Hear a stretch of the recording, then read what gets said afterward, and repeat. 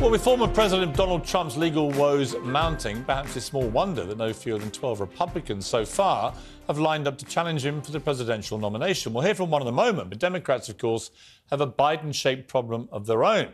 Here is the leader of the free world forgetting which war he was talking about earlier today. Has Vladimir Putin been weakened by recent events? It's hard to tell, but he's clearly losing the war in Iraq. He's losing the war at home. And he is. Uh become a bit of a fly around the world. Okay, well, it's not a war in Iraq, obviously. It's a war in Ukraine. You'd think the President of the United States might know that, but this is the same President of the United States who has made a habit lately of both verbal and physical gaffes. Let's take a look.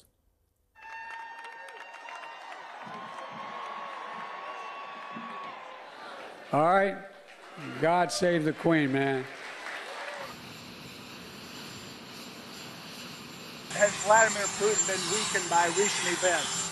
It's hard to tell, but he's clearly losing the war in Iraq. He's losing the war at home. So all that has happened quite recently. I'm joined now by Larry Elder, one of the 12 Republican presidential hopefuls. Uh, Larry, great to talk to you again. It's been quite a while. I think the last time I talked to you, you were calling me a, a stupid idiot live on air. So I hope we can have a more civilized conversation and and and and vice versa, I might add. uh, it's great to see you, and uh, congratulations on your on your you uh, bid to be president. Let's talk about President Biden first. It seems to me barely a, a, day goes by now without some new embarrassment, either involving his physical mobility, with him falling over and tripping and so on, uh, or perhaps more worryingly, the constant verbal gaffes. And sometimes they're trivial, like when he said God Save the Queen man, appearing to forget the Queen died nine months ago and he was at the funeral. Um, but sometimes today, when he's talking about the Ukraine war, to actually mistake it for the Iraq war. You know, and last year he was right. kind of rewriting American foreign policy in, with Taiwan and so on, with his missteps, which has to be corrected by the White House. If you put it all together, I wrote a, a right. column for the New York Post about this, which resonated quite big yesterday. That you put it all together, there's a clear suggestion here that the President of the United States is not in full control of his faculties.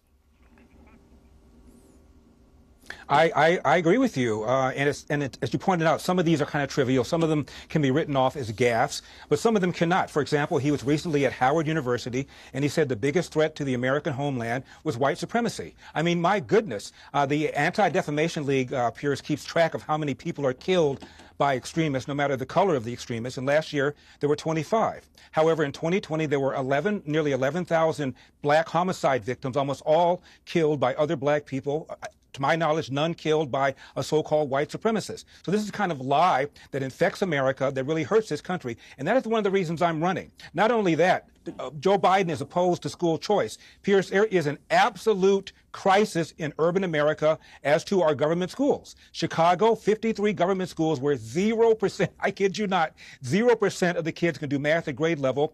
Baltimore, 13 public high schools, 0% of the kids can do math at grade level. Another half a dozen where, where uh, only 1% can. That's half of all the public high schools in Baltimore, all located in the inner city. And this lie that that uh, Biden and the others push about America being systemically racist has murderous consequences. Okay, namely but, what's but called Larry, the let me put this to you. you. Currently, you're polling one percent on the Democrat side, right? So it's it, let's be honest. It's highly unlikely you are going to be the next president of the United States. Doesn't mean you shouldn't be running and you can't make all these points. But we both know it's it's highly unlikely. It's going to likely be either Joe Biden, who said he is running, and if he's the incumbent president, that means he'll run, unless something extraordinary was to happen. And on the Republican side, Donald Trump, obviously, is way ahead, right, on your side. So what is going to happen here?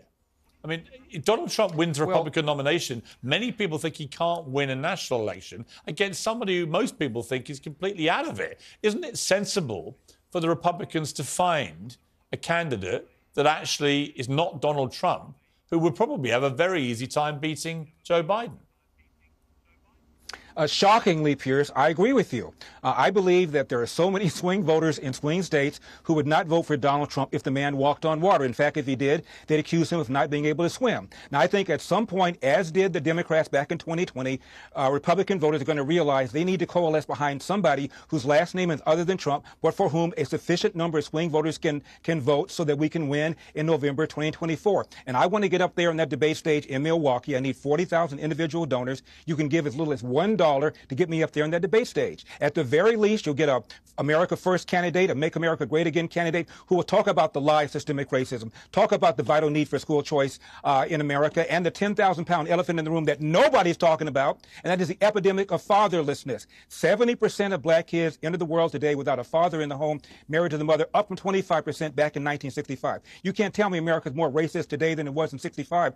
What's happened is the welfare state that the left pushed beginning in the 60s that incentivized women to marry the government and incentivize men to abandon their financial and moral responsibility. At the very least, if I can put these issues front and center, I will feel that I've done a service to my party, and more importantly, Piers, I will feel that I've done a service to my country. Yeah, well, you know what? I, I, I, actually agree with you. I think it's absolutely right that people like you should run and you should raise the issues which are important. So, so, so, so we're both, we're, so we're both, we're, we're, both agreeing. I agree with you. You agree with me. Well, love is in the air. Let's not get too hasty here, uh, Larry. But on a final point, should Donald Trump even be allowed? I mean, obviously he's allowed to legally, but should he be allowed to run as a candidate for president now that he's got two indictments and is likely to face at least one, maybe two more?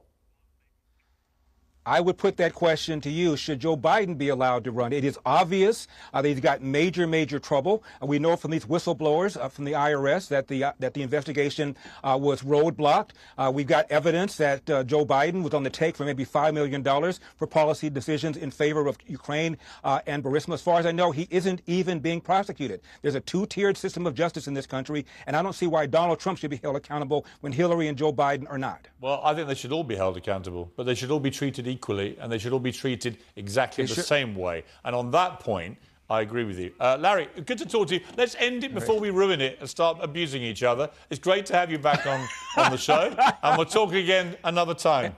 Good luck to you.